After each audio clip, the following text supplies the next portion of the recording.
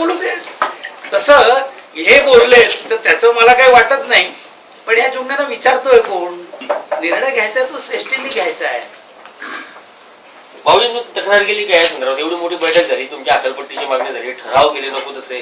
तक्रार केली? मी तर तिथे नव्हतोच ना. मी आता. आता आलो आहे सगळं समजून घेतलं सकाळी आणि म्हणूनच आपल्याबरोबर यूज करताना सगळं बोलणार. आणि मग मग वर जे बोलायचं ते मी बोलणारच आहे. श्रेष्ठींच्या समोर तर मांडावंच लागेल ना.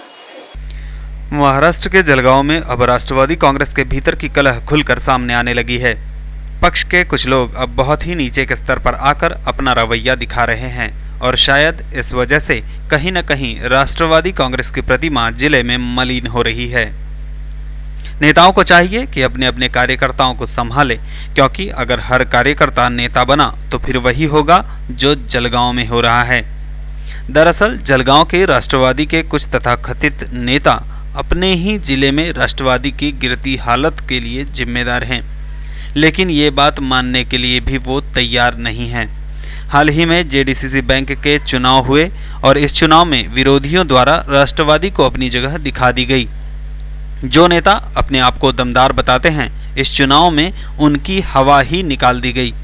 अब वही नेता अपना दोष दूसरों के सर पर मढ़ने को तैयार हैं और इसके लिए वो बहुत नीचे के स्तर पर जाकर पक्ष के अहित का काम किए जा रहे हैं। राष्ट्रवादी के ओर से रविवार को राष्ट्रवादी के सांसद ईश्वरलाल जी जैन ने राष्ट्रवादी के जिला कार्यालय पर पत्रकारों को बुलाया, जहाँ पर जिला राष्ट्रवादी के अपने आप को बड़ा समझने वाले नेताओं द्वारा ताला लगा दिया गया और श्री जैन को अंदर भी नहीं जाने दिया। गौरतलब है कि पक्ष का यह कार्यालय श्री जैन ने ही बनवाकर पक्ष को दिया है। इसके बाद श्री जैन बहुत ही क्रोधित हुए और उन्होंने कहा कि जल्द ही वो उसी कार्यालय में अपना संपर्क कार्यालय शुरू करेंगे और इस बात की शिकायत भी पक्ष श्रेष्ठी से की जाएगी। सोचने और गौर करने वाली बात तो ये भी है कि ज़िले में गिरती राष्ट्रवादी की हालत के लिए जिम्मेदार छुटभैये नेता का स्वहित और अपनी बेचैनी को बाहर निकालने के लिए पक्ष के अंदर की बातों को बाहर के लोगों के सामने लाकर पक्ष को नंगा करना कहाँ की अकलमंदी है? कार्यकर्ता नाही ना हा, कार्यकर्ता सर्वसाधारण कार्यकर्ता यांना काय तुम्ही कार्यकर्ता नाही. आता मी तर उद्या, मी तर आज कोणाला बोलवलं सुद्धा नाही. हे तर कानोकानी पडलं तर सगळे परंतु मी उद्या जर आव्हान केलं आणि जिल्ह्यावरचे लोक आले तिथे काय ते मना करणार करणार आहेत. असंच कुलूप लावून पाळणार आहेत. म्हणजे फार मर्दानगी याच्यामध्ये कुलूप लावून पळण्यामध्ये. ही मतदानगी त्यांना दाखवू देत. परंतु आम्ही आपलं जे चांगुलपणा आहे तो सोडणार नाही.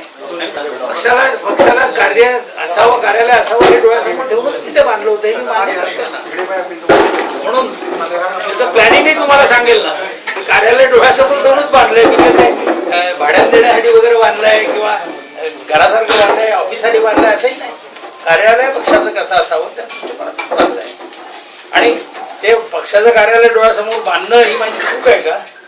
का माझा चांगुलपणा आहे? हेच मला समजत नाही. म्हणजे तिथे जावं त्यांनी आणि ज्यांनी पावणा दिलेली नाही पक्षासाठी काय केलं नाही त्यांनी निष्ठा शिकवाव्या त्यांनी शिव्या द्याव्यात.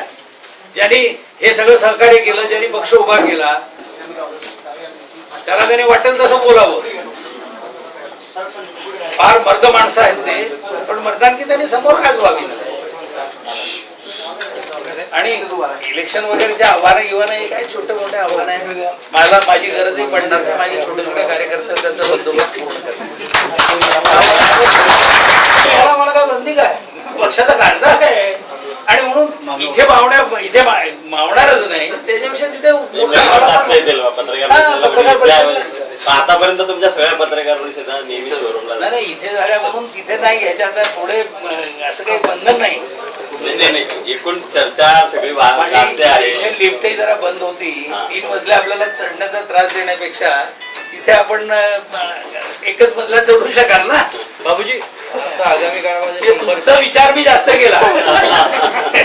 पण ते उलट आम्हाला आश्चर्य वाटतं परिषद तुमची काळजी घेतली.